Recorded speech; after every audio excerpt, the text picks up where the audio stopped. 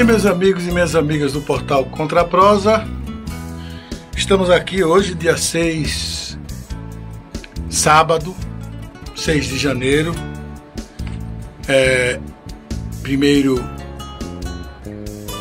grande sábado do ano, e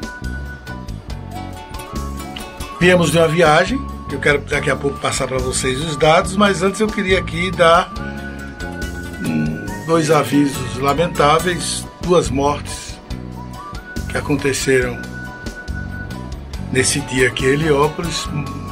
Uma morte é da nossa amiga Maria de Lau, lá no povoado Farmácia. A outra morte é do Juraci de Pepedo. Para quem quer se localizar, é o pai do nosso amigo Chuchu. Aliás, ele perdeu uma filha há pouco tempo e agora é ele que vai, Goiânia. É ele que vai, é a vida, né? É a vida. Paciência. Espero que as famílias ultrapassem essa barreira, que é natural, mas é chata, né? Tem que ter muita, muita resiliência para suportar estas desgraças e consequências provocadas pela morte de um ente querido. E quero dar um aviso aqui que a notícia boa é o Colégio Estadual José Dantas de Souza conseguiu mais um curso técnico. Desta feita é o curso técnico Proeja. Ele é um curso da área de alimentos então você aí que dono de lanchonete, você que luta com é, pessoal que gosta de cozinhar, que gosta de fazer é, mexer com alimentos de modo geral, viver e vive disso. Chegou um curso para lhe dar o diploma que você está precisando. Esse curso é o Proeja e será noturno. Agora presta atenção. Só pode se matricular nesse curso quem já concluiu o ensino fundamental, não importa se com EJA ou se no sistema normal, né? que cursou da primeira até o nono ano, da primeira série até o nono ano, ou que fez o curso EJA Fundamental. Quem é que pode. É, quantos Quantas pessoas podem se matricular nesse curso? São 35 vagas. Por enquanto é só uma turma. Porque o professor Jacó, Gilberto Jacó, me informou que os primeiros 35 matriculados que desejarem estão com a vaga garantida no curso. Quem chegar depois certo? Quem chegar depois, aí vai ter que se matricular no EJA normal. O EJA normal são dois anos, para você tirar o ensino médio. E o EJA curso técnico você tira em dois anos e seis meses. São cinco semestres. O ensino não é por ano, é por semestre. Então você pode se matricular no semestre agora, certo? Se você não puder estudar no segundo semestre, tiver outra coisa a fazer, vai fazer, volta o ano que vem, faz o segundo semestre. E aí vai até concluir, mas você só recebe o certificado quando concluir os cinco semestres. 35 vagas. Eu aconselho aquele pessoal que ganha dinheiro e vive de, de fazer alimentos, ou é proprietário de lanchonetes, restaurantes, né? E que não tem ainda a qualificação profissional, Aproveite, são apenas 35 vagas. Procure a escola para se informar sobre detalhes maiores, ok? Bom, minha gente, e a falta d'água em Heliópolis continua. Outra notícia ruim, mas 2024 entrou com muita notícia ruim, viu? Meu Deus do céu. É, além dessas mortes todas, a falta de água. Tem bairros aqui de Heliópolis que ficam na periferia, 11 dias que não cai uma gota de água na torneira. Tem gente aqui que, por exemplo, quem mora aqui na Avenida Elvésio Pereira de Santana, não pode se queixar, tem água todo dia. Ou pelo menos toda semana. Mas quem mora na periferia, minha gente, tá sofrendo pra caramba. E nem essa, nem esse refresco que a chuva deu é capaz de é, solucionar o problema. Ainda estamos no prazo pedido pela Embasa, mas vamos ver. Vamos ver se aqui até o final de janeiro se esses problemas todos são resolvidos. Bom, eu queria passar para vocês o roteiro dessa viagem que eu fiz. Essa viagem foi para matérias do canal e do blog Contra a Prosa. Certo? Essa viagem foi feita para isso. Claro que eu aproveitei também para descansar. Mas eu, quando descanso, trabalho. Né? E fui visitar regiões que eu ainda não conhecia e aproveitei e fiz matérias para o Contra a Prosa. Vejam aí como foi o nosso trajeto e no final eu explico a vocês como é que vai ser a partir de agora. Vejam aí. Bem, gente, então vejam aí, por favor, a, na, na tela é, a viagem que nós fizemos, detalhes de toda a viagem que fizemos. Nós saímos aqui de Heliópolis, vocês estão vendo aqui esse pontinho, né? De Heliópolis saímos, Cícero Dantas, subimos aqui, é, BR-110, seguimos para Jeremoabo. Jeremoabo pegamos ainda a 235 e da 235 seguimos para a região de Canudos, Canché, Canudos, Bendengó. Seguimos ainda para Uauá e de Uauá nós fomos parar em Juazeiro. Aqui em Juazeiro a gente segue, depois de Juazeiro aqui é Petrolina, esse marrom que vocês estão vendo aqui é o estado de Pernambuco. E nós seguimos aqui ainda pela 235 que passa no estado de Pernambuco, em Petrolina, e segue para a Bahia, é, primeira, a primeira cidade, é, primeiro povoado, é o distrito Santana do Sobrado, que pertence à Casa Nova. Aqui nós seguimos. Continuamos a 235, passamos por Casa Nova, seguimos a 235, margeando a barragem de Sobradinho e fomos parar em Remanso. Essa região toda já, nós já retratamos. Vocês têm aqui no, no, no canal vários vídeos, inclusive o vídeo que é, bombou. E eu quero mandar um abraço para o povo de Remanso. É, foi o vídeo sobre essa cidade. Inclusive está acima de já está perto de 4 mil visualizações. É, foi assim um, uma grata surpresa. Né? Daqui de Remanso, nós seguimos para Pilão Arcado, que a gente não tinha ainda retratado. Remanso você segue, aqui em Remanso há duas divisões, a BR é, 324 continua a partir daqui, aquela mesma que passa em em Jacobina, né? Ela vai continuar a partir daqui e segue a 235 até Campo Alegre do Lourdes, mas nós não vamos até, não fomos até Campo Alegre do Lourdes. A gente pegou aqui a BA 161 asfaltada, um asfalto muito bom, muito bem feito, até a cidade de Pilão Arcado. Lá em Pilão Arcado, antes de de da gente ficar, porque já era mais de quatro horas e as distâncias nessa região são distâncias assim enormes.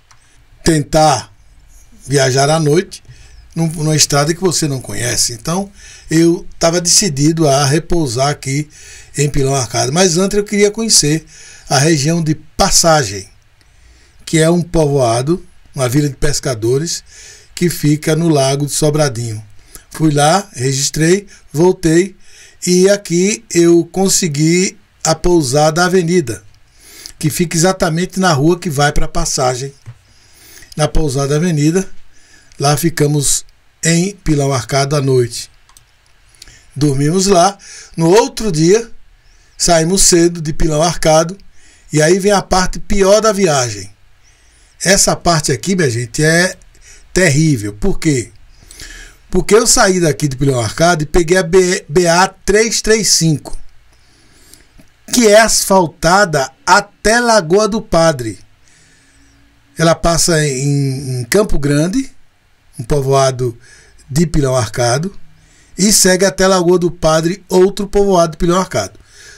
Certo? Pilão Arcado, minha gente, é uma área imensa, estupidamente grande. E de Lagoa do Padre, nós pegamos uma estrada vicinal, que seria teoricamente a, a, a sequência da 335, até chegar ao entroncamento com a BA 020. BA não, perdão, BR. Que na minha cabeça, por se tratar de uma BR, mesmo não sendo asfaltada, qual era a minha ideia? Ela está implantada. Como vocês podem estar vendo aqui no mapa, esse picotado aqui de verde significa que ali está implantada. Né? Embora ela ainda não tenha asfalto. Mas eu imaginava não encontrar é, coisas horríveis. E acabei encontrando, por incrível que pareça, a estrada vicinal de Lagoa do Padre até o encontro com a BR 020 é tranquila. Tem vários povoados, várias comunidades, né? Tranquilo. A região assim, abençoada, é, é, cercada normalmente você passa ao longo de um rio, né? É uma região assim, um, um, um lago imenso que se forma por mais de 50 quilômetros, beneficiando todos os pequenos agricultores aqui da região. Eu vou falar no vídeo quando eu me retratar retratar sobre Pilão Arcado. E quando chegamos na BR 020, meu amigo, se eu tinha pecado, eu acredito que eu não tinha muito, acho que estão me devendo, viu? Eu posso pecar por mais um tempo. Porque o rodovia ruim é ruim até chegar no povoado de Nova Holanda. Para vocês calcularem essa região, o tanto de abandono, observe que o povoado Nova Holanda, que é um povoado grande, maior ainda que a Lagoa do Padre, nem aqui está sendo retratado. E esse mapa aqui é o mapa da Bahia divulgado pelo governo da Bahia. Vejam que essa região aqui é abandonada, absolutamente abandonada. E aí chegamos em, em Nova Holanda, que é ainda município de Pilão Arcado, e seguimos aqui por essa estrada traçada aqui, ó, que não é a BR, é, é uma estrada que será a BR no futuro. Não tem implantação, não tem nada. É estrada é, de, de leito natural. Seguimos essa estrada aqui, por incrível que pareça, está até melhor que a própria BR-20. É, muitas reclamações, porque quem segue o GPS acaba sendo jogado para várias estradas vicinais e acaba não chegando em Buritirama. Mas eu, lá tem placas indicando: não siga o GPS, vá por aqui. E aí eu segui, deu certo tranquilamente chegamos a Buritirama, que é o município que nós vamos retratar em breve aqui. É, Buritirama era por volta de, de, de mais ou menos 4 horas da tarde, estava ainda claro, e eu não tinha muitas distâncias para percorrer, e além disso, de Buritirama até Barra, asfalto. É a mesma é, é a mesma é, situação da 161, que eu falei para vocês até Pilão Arcado. O asfalto, beleza, tudo bem. E saímos então do Buritirama e fomos até a localidade de Estreito. Estreito é, é onde tem uma ponte que passa sobre o Rio Grande. É, já, tive, já tinha passado lá algumas vezes. E de lá para Barra são 30 quilômetros e eu resolvi já que Barra eu tinha já retratado, já tem vídeos aqui, eu segui então para um povoado de Barra chamado Igarité. E cheguei em Garité, fiquei na, numa pousada em Igarité, dormi em Igarité, registrei lá o povoado e seguimos então para para Muquem do São Francisco. Viemos até curioso que eu imaginava, veja que no mapa não tem estrada nenhuma aqui para Muquem de São Francisco, a não ser lá depois da 242. Indo para 242 é que você pega a ABA 172 para ir para Muquem de São Francisco. Mas surpresa, quando eu cheguei aqui, mais ou menos nessa região aqui, encontrei um entroncamento. E uma estrada que ainda não foi terminada, mas está toda asfaltada até Muquem de São Francisco. Por que ela ainda não foi terminada? Faltam duas pontes para fazer. E a passagem, só nessas pontes, a passagem é por fora, mas sem problema nenhum. E eu fui então, registrei Muquem de São Francisco, retornei eh, de Muquem de São Francisco e fui para um povoado aqui localizado na beira do São Francisco, né, que pertence a Muquem de São Francisco. Depois segui e fui para Ibotirama pegando a BR 242, dessa feita asfaltada. E então segui de Ibotirama e segui para Paratinga. Em Paratinga fizemos o registro. De Paratinga descemos para Bom Jesus da Lapa. Em Bom Jesus da Lapa fizemos o registro e descemos para pela 160 que está toda asfaltada. Seguimos para Carinhanha, que fica na divisa nas margens do São Francisco, perdão, Malhada primeiro, que fica na, nas margens do São Francisco, na divisa com Minas Gerais. É, Malhada de um lado é Bahia, do outro lado, uma ponta de Minas Gerais. Você volta pela BR-030, pega uma ponte e logo em seguida é a cidade de Carinhanha. As cidades são vizinhas, né? É, e tem um contraste, né? Malhada é a cidade, eu diria, é, praticamente ainda é, maltratada pelas administrações, mas Carinhanha já é mais organizadinha. E de Carinhanha seguimos pela. Dormimos aqui em Carinhanha, no Hotel Luana, em um posto em um hotel. E desse daqui de manhã, depois de registrarmos a cidade, que chegamos à noite, seguimos então pela 161, toda asfaltada e fomos até Serra do Ramalho, onde registramos a cidade de Serra do Ramalho. Seguimos depois Serra do Ramalho e fomos para a BR 400 e, BR 430, é, que é hoje é, a BR 349 que é a mesma 349 que passa em Lagarto. E aqui nós, ao invés de irmos para Bom Jesus da Lapa, que já tínhamos registrado, pegamos a 161 novamente e seguimos para Sítio do Mato. Sítio do Mato, fizemos lá o, filmagem e tudo, e seguimos para Gameleira da Lapa. Aqui diziam que a estrada de Gameleira da Lapa para é, a BR 242, que passa em Botirama, estava em condições, mas não estava. Então eu saí de Gameleira da Lapa e segui ainda 6 quilômetros aqui para ver se a estrada prestava. Chegando no povoado, tomei informações, o rapaz disse: se você tem pecado, eu digo, não tenho, porque eu já paguei todos na, na BR-020. Ele disse, pois é, não vá para aí não, que a estrada está ruim, principalmente com essa chuva. A região choveu muito e chovia muito. Então eu resolvi retornar para Sítio do Mato. Depois aqui entrei novamente na, na BR-349 e segui para Bom Jesus da Lapa.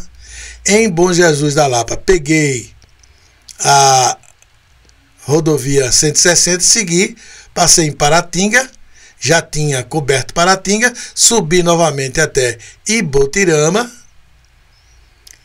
E de Ibotirama resolvi é, ir embora. Aqui já tinha. Faltava apenas Morpará. Aqui. Vocês estão vendo aqui Morpará. Faltava essa cidade aqui para cobrir. Mas eu não tinha certeza se essa rodovia aqui, ó, que passa pelo povoado Quixaba, já estava asfaltada, porque aqui está projetada para ser asfaltada. Então saí de Botirama, segui. Quando cheguei no entroncamento, eu perguntei lá, o rapaz disse: até Morpará está asfaltada. De Morpará para lá, o senhor não vá porque a estrada é ruim. Mas tem uma barca, tem uma barca que vai para o, para o povoado Torrinha, do outro lado do rio. É uma barca que tem, ela fica lá à disposição, quando aparece um carro, ela leva. Eu disse, tudo bem. Então, resolvi então fazer e fiz então os povoados que ficam aqui ao longo da rodovia e fiz também a cidade de Morpará. Chegando na cidade de Morpará, seguimos aqui por uma via, é, uma avenida, digamos assim, até um asfalto ruim, mas tinha asfalto. E chegamos até o local, São Francisco, ou Rio São Francisco, como queiram, e aqui pegamos uma barca, pagamos 80 reais, e ela nos deixou do outro lado do rio, próximo a Igarité. É, aqui é uma localidade chamada Torrinha. E lá, então, chegamos na BA 161, seguimos então para Estreito, pegamos Barra e de Barra fizemos o retorno por Chique Chique. É, Chique Chique. Chegamos aqui é, Passamos por Irecê. De Irecê viemos até Morro do Chapéu. Morro do Chapéu pegamos a pista que vai para é, Jacobina, a BA 144, 141 e 44. Passamos em Várzea Nova, chegamos aqui em Laje do Batata, viramos para Jacobina, de Jacobina seguindo para Capim Grosso, Capim Grosso de Capim Grosso, seguimos aqui pelo Itatiaia do Alto Bonito, Gavião. E aqui, depois de Gavião, pegamos a BA 416, que passa em Santo Antônio, São Domingos, Santo São Pedro e chega até Valente. Em Valente, pegamos a 120, BA 120, passa por Retirolândia, Conceição do Coité. Em Conceição do Coité, pegamos a 411, que vai até o, o povoado de Salgadalha e de Salgadalho Araci pegamos um trecho de 28 quilômetros sem asfalto, que é a BA 408. Chegamos em Araci, na BR 116, e aí o resto vocês sabem. Chegamos em Tucano e viemos para casa. Chegamos aqui já por volta das 23 horas mais ou menos. Foi uma viagem em torno de 3 mil quilômetros, 2.950 quilômetros para ser mais exato, e que nos consumiu aí cinco dias, cinco dias, é, mas que eu tenho aqui um material muito bom para a gente juntar aquele material anterior, que é em Sergipe, para fazer as séries Um Lugar no Sertão e também a série Cidades do Velho Chico, segunda fase a partir de hoje, o canal vai entrar numa nova fase. Você já vem percebendo aí que nós adotamos os shorts. Todos os dias vamos publicar um short e pelo menos três, duas a três vezes por semana um vídeo do um lugar no sertão e um vídeo do Cidades do Velho Chico. Inclusive, os shorts priorizarão as povoações menores, que aparecerão também quando retratarmos os municípios é, onde estão localizados estes povoados e distritos. Certo? Então, espero que você fique ligado. Um abraço aí a todos vocês que têm contribuído. Aliás, detalhe importante, um abraço para a cidade de Remanso. Eu passei lá agora, mas não pude parar na cidade. Não pude ficar mais tempo na cidade. Uma cidade que abraçou o Contraprosa, muito obrigado. O vídeo sobre Remanso está bombando. Um abraço também à Formosa do Rio Preto. O vídeo está bombando lá, Formosa do Rio Preto. O, o vídeo sobre piranhas também está bombando. Muito obrigado a vocês que estão. E os outros também. Embora com uma visualização menor, também tem aí. Olha, Olho d'Água do Casado. Né? Também tá, tá no, nos recebeu muito bem. Olho d'Água Olho do Casado. E temos outros, outras cidades em que os vídeos também é, bombaram. Né? O pessoal está gostando, mandando mensagem. É, mas não manda mensagem não, pode escrever lá no, no YouTube mesmo, o que vocês querem, pode comentar, eu respondo todo mundo é, dentro do possível. Um abraço também ao nosso amigo Nelson, lá de Goiás, que é aqui da região, está morando lá em Goiás. Um abraço, Nelson. E claro, nosso amigo corriqueiro de sempre, está pegado aí na fonte direto, que é o Edivaldo Silva lá de Campinas. Um abraço a todos os que curtem os vídeos, todos se inscreveram no canal.